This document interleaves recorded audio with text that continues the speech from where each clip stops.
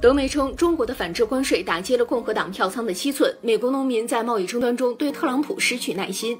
据德国商报网站十七号报道，美国和中国之间的贸易争端继续升级，而这令美国总统特朗普越来越不舒服。艾奥瓦州的农民不满意，因为他们不得不把猪头扔掉。此前，农民们还能把猪头卖给中国。专家预计，美国猪农的收入每年损失将超过二十亿美元，甚至最终不得不放弃他们的生意。报道称，在离美国中期选举还有几个月之际，美国总统及其政策受到的支持日益下降。中国的反制关税打击了艾奥瓦州的七寸，该州的农产品出口在全国范围内排名第二，仅次于加利福尼亚州。民调显示，美国农业带对特朗普政策的支持仍然高于全国平均水平，但六月特朗普的支持率已跌至百分之五十二。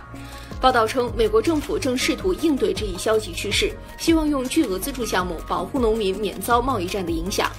美国农业部长普杜希望欧盟尽快启动从美国购买更多大豆的倡议，但美媒认为这对猪农没有帮助。更多精彩新闻尽在今天的参考消息。